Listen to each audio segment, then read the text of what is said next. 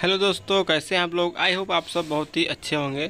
तो आज मैं बताने वाला हूँ कि गुलाब की केयर गर्मियों में कैसे की जाए क्योंकि इस वक्त गर्मी बहुत ज़्यादा पड़ रही है और गुलाब के पौधे झुलस जाते हैं फूल छोटे हो जाते हैं जल जाते हैं। तो उसकी केयर कैसे करें जिससे हमारा गुलाब हेल्दी रहे अच्छे से फूल दे गर्मी में भी। देखिए मेरे गुलाब हेल्दी है कुछ फूल दे रहे हैं और कुछ में दिक्कत आ रही है तो इनको आ, सही करना है। तो चलिए स्टार्ट करते हैं। तो दोस्तों, मई की चौदह तारीख है आज और बहुत ज़्यादा गर्मी हो रही है इस वक्त। हवा बहुत चल रही है, गर्म हवा, जिसके कारण गुलाब में जो क्या पत्तियाँ पीली हो रही हैं और उसमें फ्लावर जल जा रहे जो फ्लावर निकलते हैं वो जल जा रहे हैं। फ्लावर के साइज़ छोटे हो गए हैं।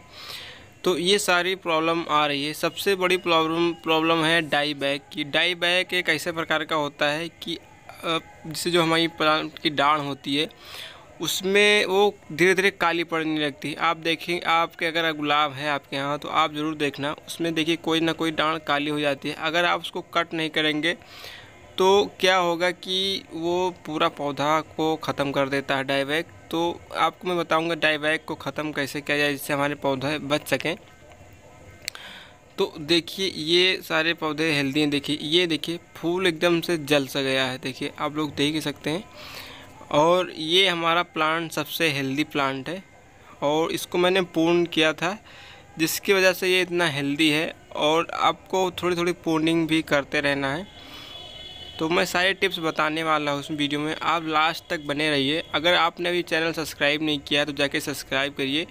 और बेल आइकन को प्रेस कर देना, जिससे हमें नई वीडियो की नोटिफिकेशन आपको सबसे पहले मिले तो अगर आपने अभी वीडियो लाइक नहीं किया तो जाकर लाइक करिए। तो चलिए स्टार्ट करते हैं। तो देखिए, आपको इसमें फर्टिलाइज़र भी देना पड़ेगा। और ऐसा नहीं कि फर्टिलाइज़र बंदी कर दें। या जैसे पहले डाल डालते तो उस तरह भी नहीं डालना है। मैं आपको बताऊँगा कैसे फर्टिलाइज़र देना है, क्या करना है गुलाब में। तो पहले आपको पानी देना है। पानी गुलाब को सबसे ज़्यादा आवश्यकता होती है गर्मी में, क्योंकि इसको भर के पानी देना है। मैंने थोड़ा दिया है क्योंकि मैं पानी सुबह दे चुका हूँ। और उसके बाद आपको सुबह सुबह क्या करना है, प्लांट को अच्छे से नहलाना है, जिससे क्या हो अच्छा सा इसका बन जाए, थोड़ा ठंडे हो जाए पौधे, क्योंकि गर्मी ज़्यादा पड़ने लगती है। गुलाब को ठंड का मौसम पसंद रहता है।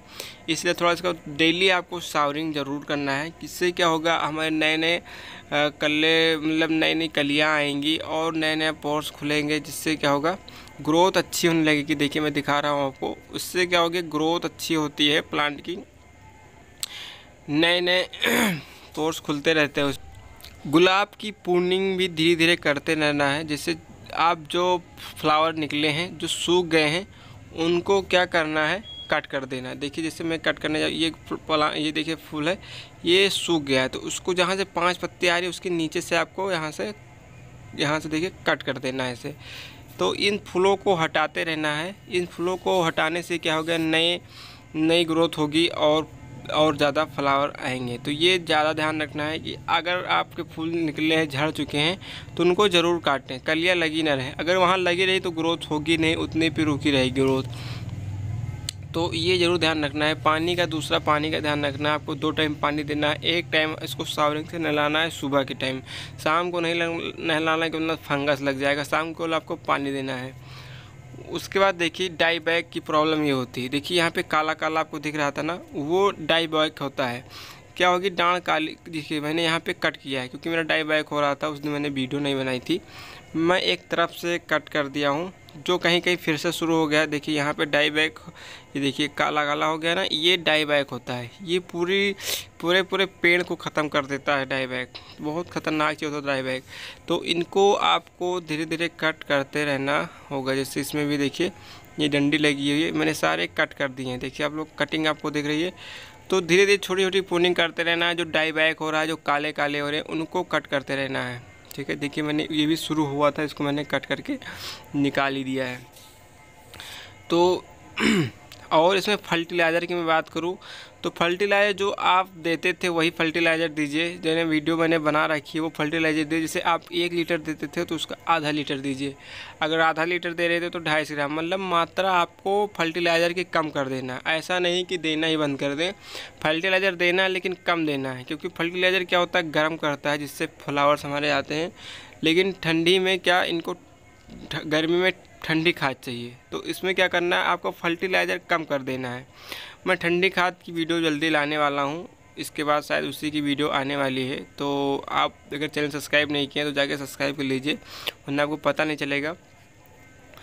तो वो वीडियो ज़रूर जल्दी ही आने वाली है कि गुलाब में ठंडी खाद कौन सी डालें। तो यही सब कुछ प्रॉब्लम आती है गुलाब में, और मैं इसकी धीरे धीरे पूर्निंग करता रहता हूँ। छोटी छोटी पूर्निंग थोड़ा थोड़ा पूर्निंग करते रहिए। जिससे हमारे पौधे हेल्दी रहते हैं।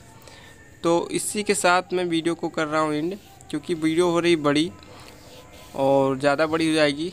तो देखिए यहाँ पे देखिए यहाँ पे डे बैक हो रहा था इसलिए मैंने इसको आ, कट कर दिया था उस दिन। तो इसी के साथ मैं कर रहा हूँ वीडियो एंड तो अगर आपने अभी वीडियो लाइक नहीं किया तो जाकर लाइक करिए न्यू सब्सक्राइब करिए। मिलते हैं इसी तरह के न्यू वीडियो में। बाय